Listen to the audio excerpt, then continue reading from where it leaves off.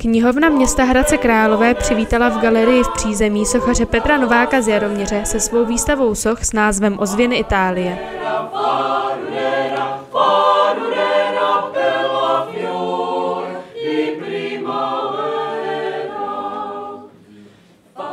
Jsem velmi ráda, že mezi námi mohu přivítat pana Petra Nováka z Jaroměře, sochaře, který pro vás připravil dnešní expozici, dnešní vernisáž, a to společně se Spolkem Přátel Itálie.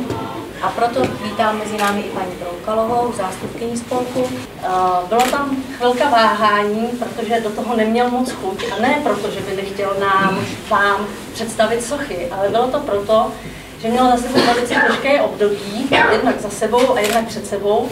Mě dá totiž to sochaření hodně práce a musím se na to pořádně soustředit, takže ty výstavy eh, nedělám moc rád, no ale tentokrát jsem musel, protože mě požádala předsedkyně eh, společnosti Přátel Itálie a protože to je dáma, která vystupuje velmi kultivovaně, tak jsem eh, ji nemohl odbejt. Proto tady jsme teď na tyhle ty výstavě, která vlastně v souvislosti nebo v návaznosti na dvou výstavách italských tu první jsem měl eh, samostatnou v Benátkách, Palazzo Ferrofini a kanále Grande. A ta druhá probíhá eh, v galerii Antonia Canovi, společně ale se dvěma přáteli s malířem Renátem Zanini a sochařem Gilbertem Fossenem. Vlastně moje náměty jsou jednoduché, jak vidíte, jsou tady jenom koně a ženy. To je proto, protože tyhle ty náměty Eh, ve mně se mně líbí, protože kůň i žena jsou spontánní a žijou život eh, bezprostředně. Kdežto eh, muž pro mě je denaturovaný člověk.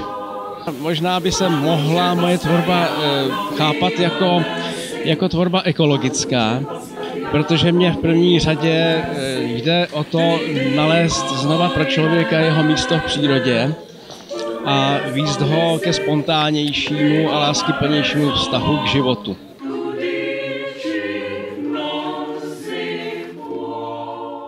Další reportáže a zajímavá videa najdete na našich webových stránkách tv.puls.cz.